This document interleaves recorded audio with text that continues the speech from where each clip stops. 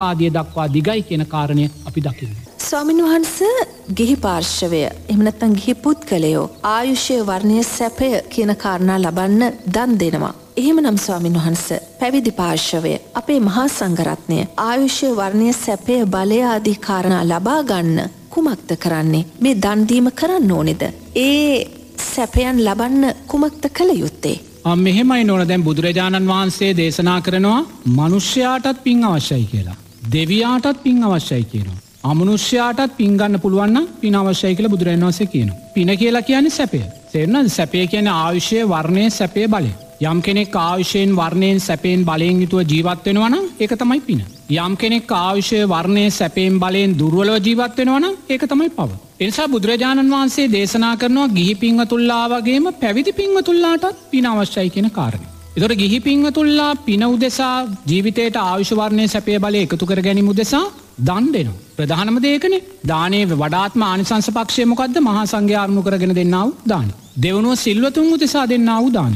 ඒවගේම ගිහි පක්ෂය මෛත්‍රිය තුළින් සීලය තුළින් සද්ධාව තුළින් මේ සෑම දෙයක් තුළින් ආවිශවරණය සැපේ බලය ජීවිතර එකතු කරගන්න. නමුත් හුඟක් පින්ව තුල්ලා ආවිශවරණය සැපේ බලය උදෙසා දන්දීම සහ පින්කං කිරීම තමයි සිද්ධ කරන්න. නමුත් නොනා බුදුරජාණන් වහන්සේ පැවිදි පක්ෂය උදෙසා පින ලබා ගැනීමේදී පින්කං කරන්න දන් දෙන්න කියන කාරණය අපිට කියන්නේ නෑ. උපසම්පදා භික්ෂූන් වහන්සේ නමකට සාංගික දානය දීමේ දෙයක් බුදුරජන් වහන්සේ දේශනා කරන්නේ. දැන් ම දැකල තින සමහරලාට මට දාන දෙන්න උපසම්පදා ස්වාමින් වහන්සේලයිල දාන පූජ කරන. එවෙලා මංකින අනේ ස්වාමින් වහන්ස උපසම්පදා භික්ෂූන් වහන්සේල තව කෙනෙකුට දන් පූජ කරන අවස්ථාවයක් නැහැ. එහෙම ධර්මය සඳහනක් නැහැ. නමුත් අපි ආරණ්‍යවල ඉන්නකොට නොන අපි පින්ඩ පාතය කරලා නැත්තන් දානශාලාවෙදි දානය වලඳන්න ඉස්සෙල්ලා අපි එකිනෙකා ආහාරුව මාරු කරගන්න. හැන්ද හැන්ද අපි එකෙක්නාගේ පාත්තරෙන් ආහරු මරු කරගන්න.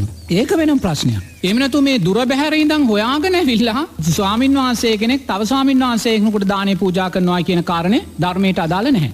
මොකද සංඝයා සංඝයාට දන් දෙන්න වචනය අතිරික්තිය තියෙනවනගේ අතිරික්තිය අපි ආරන්නේ තුළ පන්සල තුළ සංඝ සමාජය තුළ අපි බෙදන්න ඕන ඒක හරි නමුත් දුර බැහැර ඉදං කවටරි ස්වාමින් වහන්සේ කෙනෙ ඉලක්ක කරගෙන ම දන් දෙන්න යනවා කියන කාරණය උපසම්පදා භික්ෂුන්ට අදාල නැහැ. එතොට ඒවගේම නෝනා බුදුරජාණන් වහන්සේ කොතනකොවත් උපසම්පදා භික්‍ෂූන් වහන්සේලාට ආවිශවර්ණය සැපේ බලය එමනැත්තම් පින උදෙසා පින්කං කරන්න කියලා කියන්නේ නැහැ.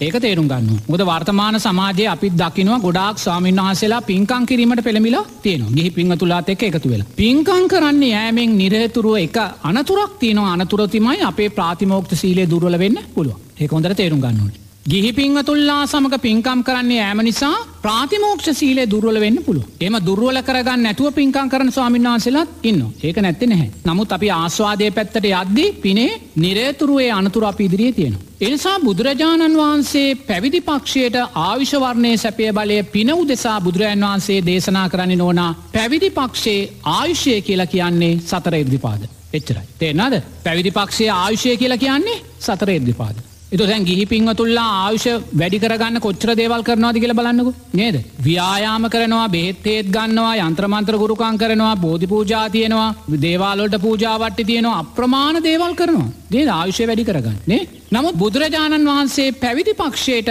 ආයුෂය උදෙසා දේශනා කරන්න සදර එද්දිපාද. එය ආයුෂය වැඩිවෙන්න නම් මොකක්ද කරන්න ඕනේ සතර එදිපාද වඩන්න ඕන. සතර එදිපාද කියන මොකක්ද එක චන්දය කුමක් කරේ චන්දයද කුසලය කරයා චන්දය ඇති කරගන්න. දෙවනුව වීර්ය ආරෂ්ඨාංගික මාර්ගය තුළ ශක්තිමත්ව ගමන් කිරීම කරේ වීර ඇති කරගන්න. තුන චිත්තය අධිෂ්ඨානයක් ඇති කරගන්නවා මම මොන්නම බාධකයක් හේතුවෙන්වත් කව දාක්වත් කුසල් පක්ෂය අතහරින්නේ නෑ කියල්. ආරෂ්ඨාංගික මාර්ගෙන් බැහැරවෙන්නේ නෑ කියල්. තිෙන්න. විමන්සා කියන්නේ මේ හැම දෙයක්ම විනිවිධ දකිමින් විදර්ශනා නුවන මතු කරගන්න සංස්කාරන්ගේ අනිත්‍ය භාවය දකිමින්. එතන මෙන්න මේ සතර එර්දිපාද තමයි නෝනා පැවිදි පක්ෂේ ආයුෂය උදෙසා බුදුරජන් වහන්සේ දේශනා කරන්න. එනම් කොතනකවත් ස්වාමින් වහන්සේ නමකුට ආවිශ්‍ය වැඩිකර ගැනීම දෙසා වෙන වෙනවත් පිළිවෙත් කරන්න අවශ්‍යදාවය නැහැ. බුදුරන් වහන්සේ කියන්නේ මේ සතර එර්දිපාදමයි භික්‍ෂුවකගේ ආයුෂයේ ශක්තිමත් භාවය ඇති කරගන්න කිය. දෙවනවා බුදුරජාණන් වහන්සේ දේශනා කරනවා භික්‍ෂුවකගේ වර්ණය කියලා කියන්නේ නොනා භික්‍ෂුව ආරක්ෂා කරගන්නයි සීලය. තේනාද දැම් වර්ණය උදෙසා ගිහිපිංහ තුල්ලා කොච්චර දේවල් කරනවාද කියල බලන් රූපලාවර්ණය කරනවා සුහඳ විලවුන් තවරනවා පළතුරු වලඳනවා එලෝලු වරඳනවා මේ සෑම දෙයක් තුළින්ම ශරීරයේ වර්ණය වැඩි කරගන්න මෙම කරන්නේ නවත් බුදුරජාණන් වහන්සේ පැවිදි පින්ව තුල්ලාගේ වර්ණය ශක්තිමත් කර ගැනීම උදෙසා දේශනා කරන්නේ සීලයනු. එකන උතුම් උපසම්පදා භික්‍ෂූන් වහන්සේ නමක් නම් උතුම් ප්‍රාතිමෝක්ෂ සීලයත් ඒවගේම සාමනේර සාමීන් වහන්සේ නමක් නං සාමනේර දසසීලයක් සේකයා හැත්තපාත් කියෙන කාරණා තමයි භික්ෂුවගේ වර්ණය හැටියට බුදුරන් වහන්සේ දේශනා කරන්න. නිසා භික්ෂූන් වහන්සේලාට ආවශ්‍ය වැඩිකරගන්න ඕන නගේ ආවශ්‍ය වැඩිවෙන්න තින එකම එක ක්‍රමවේදය බුදුරජන් වහන්සේ අනුමත කරන්න සතරෙද්දිපාද භික්ෂුවගේ වර්ණය ශක්තිමත් කරගන්න ඕන නගේ වර්ණය ශක්තිමත් කර ගැනීම දෙසා බුදුරජන් වහන්සේ දේශනා කරන එකම එක ධර්මතාවේ සීලෙ. එතට ආවිෂය වර්ණය තුන සැපය.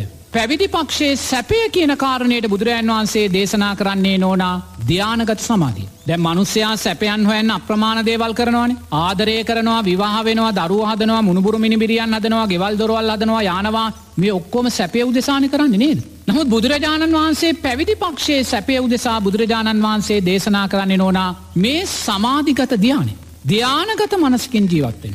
නිරේතුරුව සමාධිමත් හිතකින් ජීවත්වෙන. පංචනීවන්න යටපත් කරගෙන සත්ත බොජ්ජංග මතු කරගනමින් අන්න එක තමයි භික්ෂුවකගේ සැපේකයන්. ඊට පස්සේ බුදුරජාණන් වහන්සේ දේශනා කරනවා භික්ෂුවකගේ ධනය කියලා කියන්නේ නෝනා මෛත්‍රය කියන කාරණය කිය. දැන් සමාජයේ ධනවත් භාවයක් තියනවන ගිහි පිංහ තුල්ලාගේ ගෙවල් දොරවල් වත්පෝසත්කම් බැංකු ගිනුම් මේවයින් තමයි ධනවත් භාවයෙන් බව. නමුත් පැවිදි පක්ෂයේ ධනය කියන්නේ නෝනා බුදුරජාණන් වහන්සේ මෛත්‍රිය. පැවිදි පක්ෂයේ දස දිසාවට මෙස්සිත පතුරමින් ජීවත් වෙනවනං ඒ දස දිසාවට මෙස්සිත පතුරුවන භික්ෂුව මේ ලෝකයේ සැබෑම ධනවතා බවට පත්වෙන. මෙතනදී වර්තමාන භික්ෂූ සමාජයට ගන්න ලොකු ආදර්ශයක්තිය. මොකද වර්තමාන භික්ෂූ සමාජයක් ධනය පිළිබඳ පසුපස්සෙන් යන ස්භාවයක් තියෙන. අවශ්‍යතාවයන් නිසා.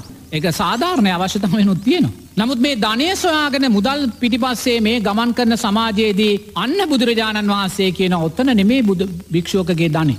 ඔබ රැස්කරගත යුතු ධනය කියන්නේ මෛත්‍රියයි ඔබ දස දිසාවටම මෙස්සිත පතුරුවන්න ඒ දස දිසාවටම මෙස්සිත පතුරුවද්දී ඔබ මේ ලෝකයේ සියල්ලම අවනත කරගත්ත ඔබේ අටට ගත්ත කෙනෙ බවට පත්වෙන. ධනවත්ම කෙනා බවට ඔබ පත්වෙනවා කියලකි. එතොර දැන් ආයුෂය ආයුෂය කියන මොකද සතරේරදි පාද. වර්ණය කියලා කියන මොකක්ද සීලය. සැපේ කියලා කියන මොකක්ද ධ්‍යානගත සමාධී. ධනය කියලා කියන්න මොකක්ද මෛත්‍රී සිත ඊළඟට බුදුරජන් වහන්සේ කෙනවා භික්ෂුවකගේ බලය කියලා කියන්නේ නොවනා මේ මාර්ගය පරිපූර්ණ කරලා ඔහු ලබාගන්නා සෝවාන් සකෘදාගාමි අනාගාමි අරියත් අන්න බලි. නමුත් වර්තමාන සමාජය අපි බලය හැටියට හඳුන්නාන මොකක්ද එක්ක නායක තනතුරක් එක්ක උපනායක තනතුරක් ඒමනැත්තම් පාර්ලිමේන්තු මන්ත්‍රීකමක් ඒමනැත්තන් තනතුරක් මේවන අපි බල හැටියට භික්ෂු සමාජයක් දකින්නේ හොත් බුදුරජාණන් වහන්සේ භික්ෂුවකගේ බලය කියලා කියන්නේ නෝනා සෝවාන් සකෘදාගාමි අනාගාමි අරිහත් පලයන්මයි. නිසා යම් භික්ෂුවක් මෙන්න මේ උතුම් අධිගමයන් සාක්ෂාත් කරගත්තනං ඔහු තමයි මේ ලෝකේ බලවත්ම භික්ෂුව කියලා බුදුරජාණන් වහන්සේ දේශනක.